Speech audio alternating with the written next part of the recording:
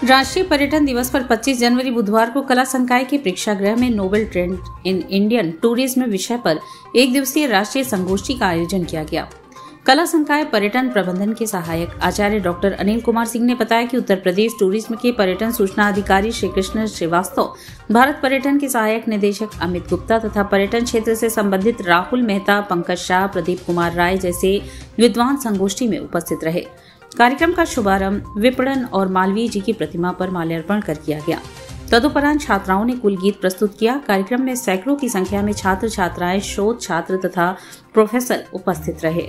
जिसमें राष्ट्रीय पर्यटन दिवस के बारे में, उनके बारे में जानकारियाँ दी और एक राष्ट्रीय संगोठी, संगोष्ठी का भी आयोजन किया। राष्ट्रीय संगोष्ठी संगोष्ठी जो थी, वो novel trends in Indian tourism के ऊपर आधारित थी।